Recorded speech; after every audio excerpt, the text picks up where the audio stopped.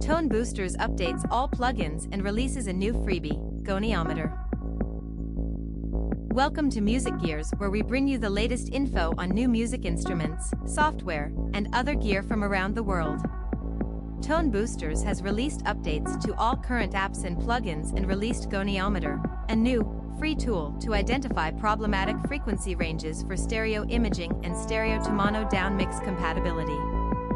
The updates are provided free of charge to existing customers. Some highlighted updates include Pro Tools AAX plugins, native support for Apple Silicon M1, M2 processors, support for EUCON hardware controllers.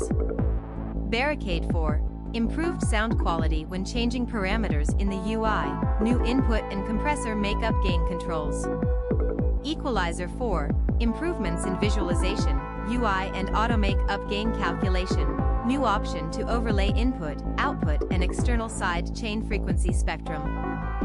Flowtones virtual analog synthesizer, efficiency improvements, new configurable gate LFO to allow for new modulation patterns of a wide range of synthesizer parameters. Goniometer, a new, free tool to identify problematic frequency ranges for stereo imaging and stereo to mono down mix compatibility. MBC multiband compressor, UI improvements to enhance your workflow, including linking of gain and threshold controls across frequency bands. Morphit headphones correction, wide range of new headphones models available for headphones correction. Reverb 4, improved sound quality when changing parameters in the UI, improved reverb freeze quality. All apps and plugins, improvements in efficiency, stability, usability, and plugin host interaction.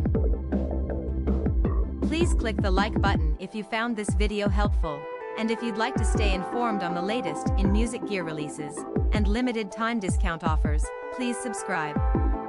Thanks for watching.